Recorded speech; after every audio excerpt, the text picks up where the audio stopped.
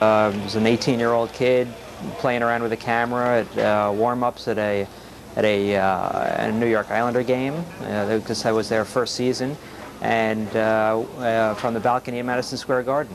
Sent him to the Hockey News up in Canada, and they said, "Sure, we'll buy some photos from you. Three bucks a photo." And for me, it got me a start, got me into the games. You may not know Bruce Bennett, but if you're a hockey fan, you certainly know his work.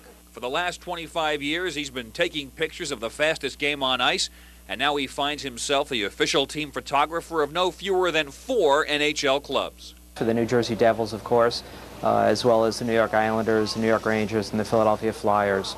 And with my staff of photographers, there are 10 who work out of our office in New York. Um, we get all the games covered.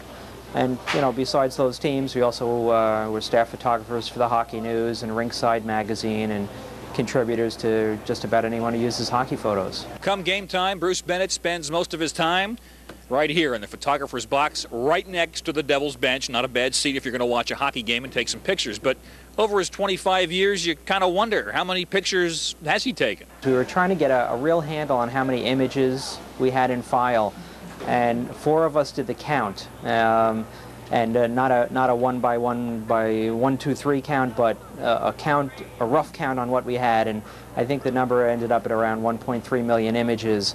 Uh, and so it's hard to hard, hard, to think of individual ones in there. There are a few that stand out that were also great memories uh, for me, but uh, for the most part, it's uh, it's one blur.